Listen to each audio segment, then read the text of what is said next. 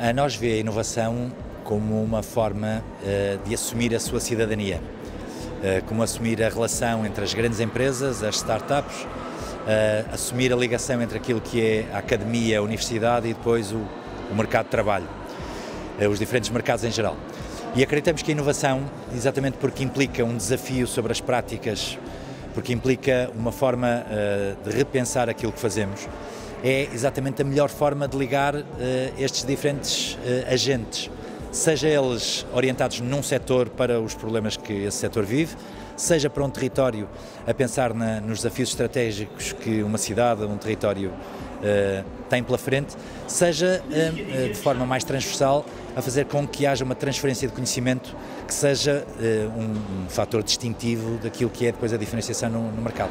O Prémio Inovação Nós é, é uma das um, das iniciativas que a nós leva a cabo, neste caso em, em conjunto com a TSF e com o Dinheiro Vivo, e que eh, tem como objetivo premiar, dar palco a um conjunto de projetos que, que já o merecia.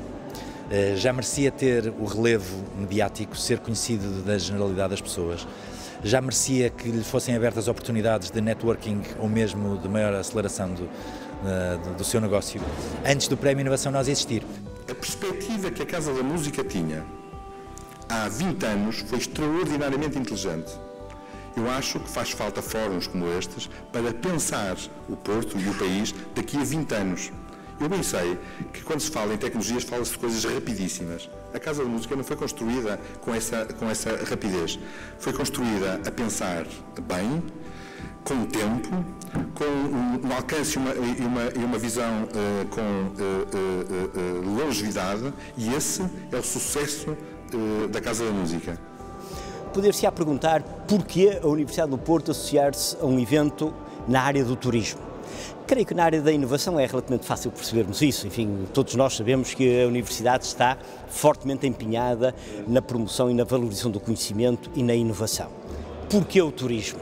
Eh, desde logo porque a Universidade é um player importante na cidade do Porto. Hoje a cidade do Porto é vibrante do ponto de vista turístico e nós, Universidade, temos contribuído para esse dinamismo. Desde logo pelos estudantes que trazemos cá, são 4 mil estudantes em mobilidade e em estudantes de grau que trazemos todos os anos e que muitos repetem, tornam-se verdadeiros embaixadores da Universidade. Temos também uma importância grande pelos congressos eh, que organizamos. Eh, não é por acaso que a Universidade do Porto é associada, fundadora da Associação de Turismo do Porto.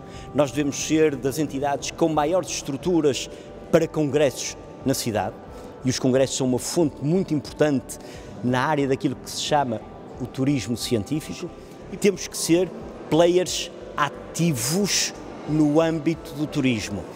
E porque é uma área nova, é uma área que ainda tem vindo a ser pouco trabalhada, desde logo a Universidade tem aí um papel importante em termos de inovação de um segmento turístico que é praticamente inexistente do ponto de vista do trabalho profissional, que é o turismo científico. Essa é, desde logo, uma boa razão para acolhermos hoje aqui esta conferência.